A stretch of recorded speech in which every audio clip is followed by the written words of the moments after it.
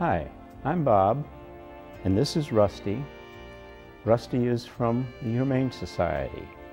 We want to send a special holiday greetings to the staff, the volunteers, and the people who support Willamette Humane Society. Rusty was found out wandering around Dallas, and if it hadn't been for the Humane Society, there's no telling where he'd be now.